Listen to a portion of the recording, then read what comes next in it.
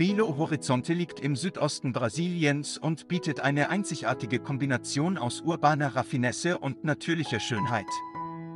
Die Stadt bietet eine Vielzahl von Attraktionen, die Touristen besuchen können.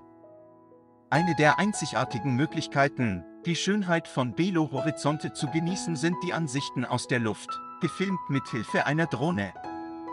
Diese Bilder bieten eine neue Perspektive auf die Architektur, Sehenswürdigkeiten und Natur der Stadt. Neben seiner natürlichen Schönheit hat Belo Horizonte auch eine blühende Tourismusindustrie. Besucher der Stadt können kulturelle Attraktionen wie Museen, Kunstgalerien und Theater besuchen, die eine reiche Geschichte zeigen. Im Allgemeinen, wenn Sie den Charme von Brasilien außerhalb seiner berühmten Küstenstädte fühlen wollen, muss Belo Horizonte auf Ihrer Reiseliste sein.